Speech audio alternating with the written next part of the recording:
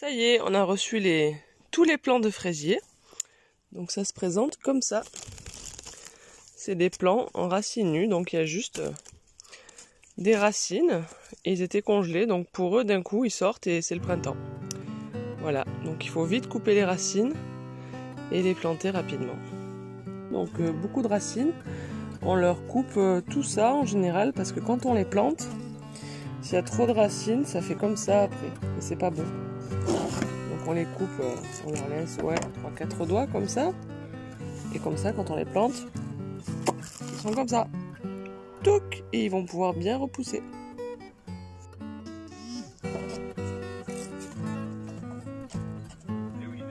Elle est là. Pour l'instant, ouais, elle est là.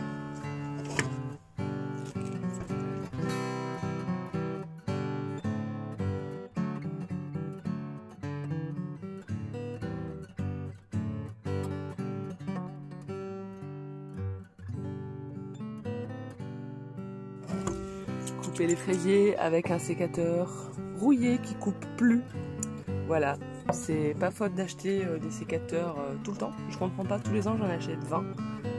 Et euh, en fait, il en reste toujours un en fin d'hiver qui coupe plus rien. Donc, soit il y a des farfadets qui me volent les sécateurs, soit ils compostent. Mais je penche plutôt sur l'option qui composte dans le sol.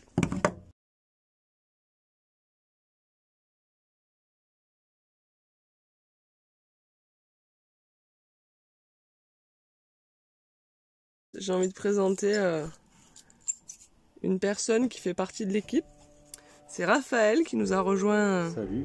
Qui nous a rejoint quand déjà En début d'année là? Enfin, En septembre, octobre? euh, Ouais, octobre. Qui fait un BPREA en maraîchage sur deux ans et, et qui aimerait s'installer. Voilà. Est-ce que tu peux expliquer euh, pourquoi tu as envie de faire ça? Alors pourquoi j'ai envie de faire ça? Euh, Déjà d'une, produire mes légumes, de savoir ce que je mange déjà, de pouvoir nourrir les gens, de pouvoir faire vivre les gens, et après de monter un projet concret qui a un sens dans la vie. Et après, euh, tout ce qui va avec, euh, c'est-à-dire euh, vivre le maximum avec en autonomie. Ah bah là c'est surtout un sujet qui est d'actualité, l'autonomie. Hein. Je pense que tout ce qu'on peut faire pour être en autonomie et être résilient face à ce qui se passe, c'est important. je pensais qu'au départ ça allait être compliqué. En fait pas du tout. Quand tu cherches, ben, tu trouves. Ouais. Quand tu as la volonté de faire ce que tu veux, ben, tu arrives à le faire dans tous les cas. Et puis les portes elles s'ouvrent quand c'est à ton chemin. Moi j'ai remarqué un truc, c'est quand euh, tu as un projet que ça respecte l'humain, la nature et toi-même, euh, ben, en général ça s'ouvre. En général tout, tout roule. Quoi. Ouais.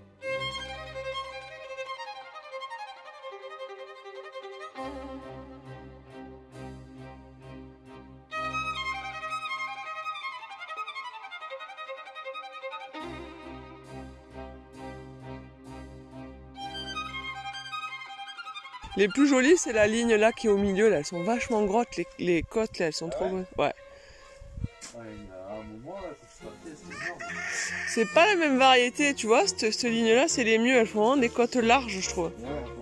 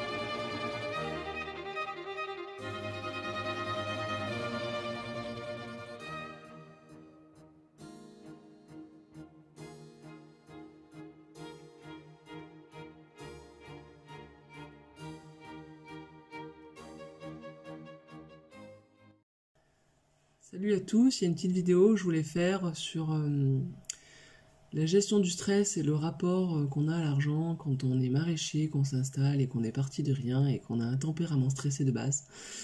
Euh, de stresser, finalement, ça résout pas les problèmes, au contraire, ça nous rend moins performants.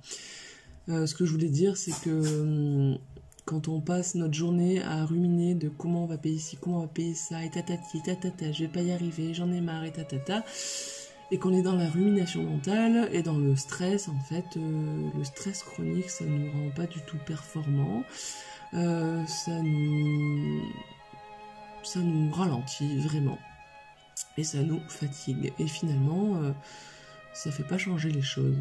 Donc si j'ai un conseil à donner, on devrait faire des formations là-dessus en agriculture. D'ailleurs, j'ai vu qu'il y avait en élevage des formations paysans méditants et je trouve ça génial. Voilà, donc cette année, ben, moi janvier, février, c'est des mois qui sont extrêmement difficiles, où il y a beaucoup, beaucoup, beaucoup de sorties, il faut euh, préparer toute la saison, payer les plants, payer le terreau, euh, payer euh, des, millions de choses, les, les, récaps de la MSA qui vous défoncent toutes les fins d'année pour dire Joyeux Noël Voilà, il y a beaucoup de trucs, et c'est les mois où on gagne le moins d'argent, parce que les légumes ils sont gelés, il y a moins de marché, il fait nuit très tôt, et bon, en plus, avec tout ce qui se passe en ce moment, c'est un peu compliqué. Mais vraiment, cette année, j'ai décidé de ne pas stresser. Je me suis mis à la cohérence cardiaque, à la méditation, aux respirations euh, de. Euh, voilà, donc bien gérer son stress et euh, prendre du recul, ça nous rend plus performants. Parce qu'on est plus ancré dans ce qu'on fait, dans le travail, on va beaucoup plus vite, on travaille mieux. Et quand on met euh, de l'amour, de la passion et, de comment on dit ça quand on est appliqué quoi dans ce qu'on fait plutôt que du stress euh, du pessimisme et de la, de la rumination on est beaucoup plus performant on va plus vite et, euh, et c'est du plaisir et ça se ressent dans notre travail et je pense que c'est un gage de qualité et de rentabilité en fait